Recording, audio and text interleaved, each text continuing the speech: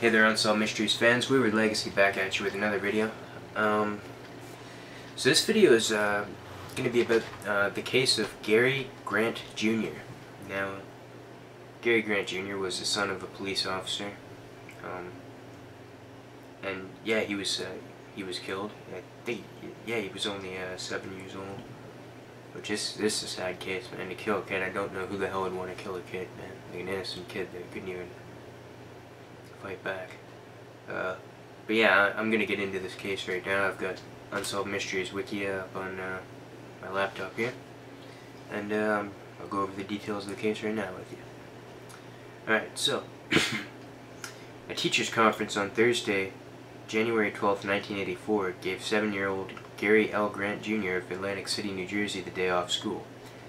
At breakfast, he mentioned to his mother, May, that he had an appointment at 2.30 p.m the details of which were secret. Around noon he went outside to play, saying he'd be back by 4 o'clock p.m. Uh, when he failed to return, his mother began to worry. She went uh, to the house where two of Gary's friends lived, and they said that Gary had been there, but had left to go home around 4.30 p.m. After two hours passed, May called her husband, uh, Gary L. Grant Sr., a police detective. Uh, Gary Sr. took the night off and searched the area fruitlessly around 1 or 2 a.m. By Friday morning, the police were searching for Gary. Uh, Gary Sr. was prevented from joining the official uh, search due to regulations, so he began investigating independently. Uh, during his investigation, he met several people who remembered seeing Gary early that morning. A man named uh, Robert Huey, Huey realized that uh, the disappearance was near a warehouse he owned and searched the property. Um, at 3.30 p.m. on Saturday, he discovered Gary's body in a vacant lot near the warehouse, less than two blocks from his home. Police noted that he had been bludgeoned to death and that a length of pipe was near his body. Around the same time, Gary Sr. came upon the scene and had to be restrained when he realized what happened. Nearly two years later, on January 4, 1986, a message left on the side of a police car was discovered around 3 a.m. The message read, Gary Grant is dead. I am living. Another will die on uh, 1-12-86 if all goes right. The date inscribed was the second anniversary of Gary's murder. Uh, a few weeks later, another message was found, scratched onto into the sidewalk, uh, reading, Gary Grant Jr. lives. I still killed him. Son of a pig officer. Pay back his MF.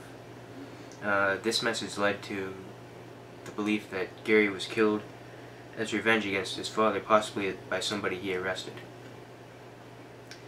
On the day Gary's body was found, investigators began questioning people in the area.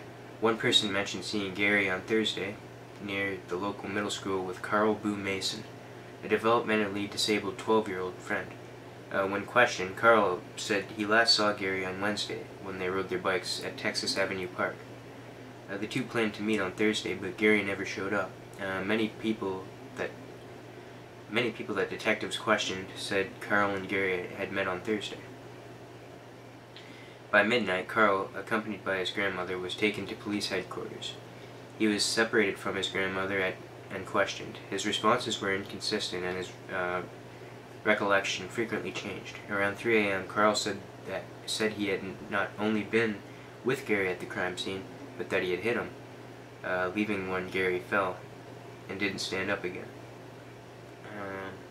Police felt Carl knew things only the killer would know, and typed up a confession for him, and his grandmother to sign.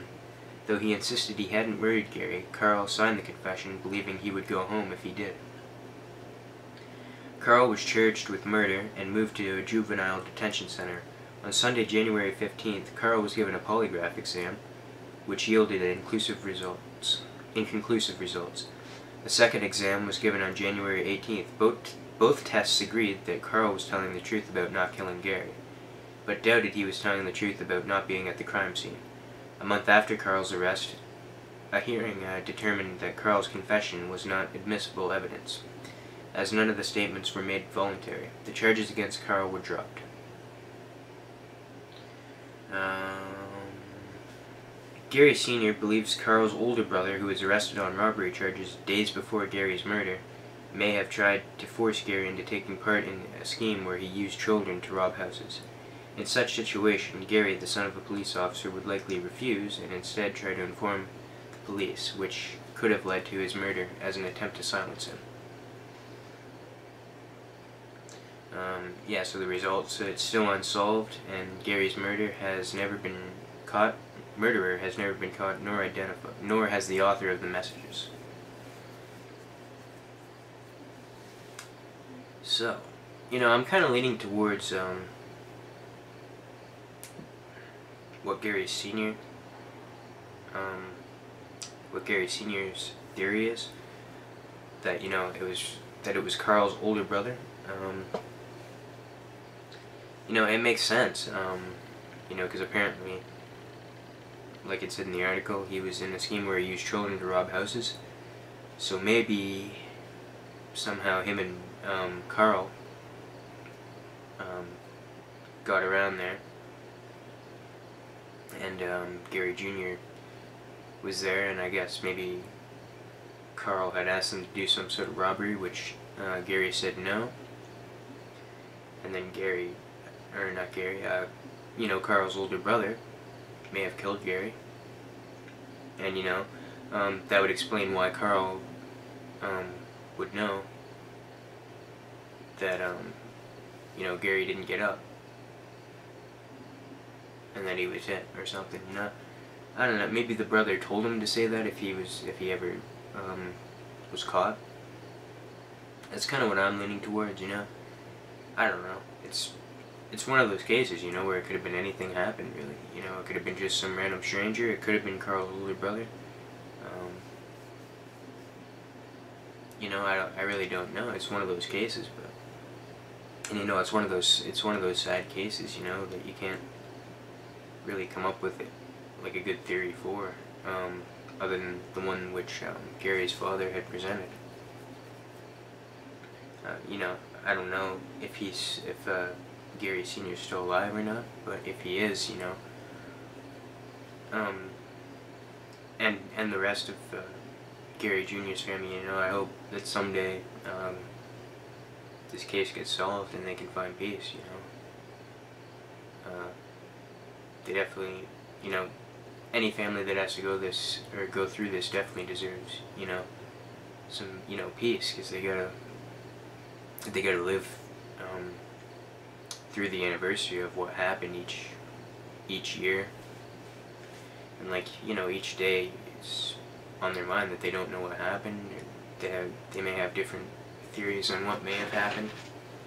You know, it's just, it's one of those cases, man. And it's always been, you know, these cases, you know, they're sad, but, you know, they've always kind of fascinated me because there's so many different ways that it could go. You know, so many different theories that could be presented. Um, you know, I really don't have a whole lot of theories for this case just because of the how it went down.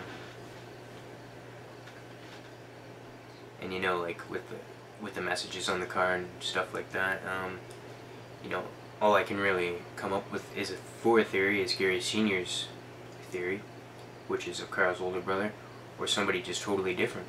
You know, somebody, some random stranger maybe. I don't know. Um, that's really all I can come up with for that. But yeah, you know, um, I figured it'd be a case, you know, it'd be a good case to do, which it is. I'm sure a lot of you probably have theories on it, so um, if you want to discuss that in the comments, you can. Um, if you like this video, give a like, subscribe. Um, you know, like I said before, comment. I can do. I like hearing people's different theories on the cases, and uh, you know, I like discussing them too with other people. So. Uh, you know, I may have another one tonight. I'm not really sure. But we'll see. Um, but yeah, you know, that's pretty much it um, for this video. You know, it's just, it's one of those sad cases that, you know, could have so many different theories. Uh, but yeah, you know, that's pretty much just all I have to say. And, um, yeah, you know, I'll see you in the next one. Wayward.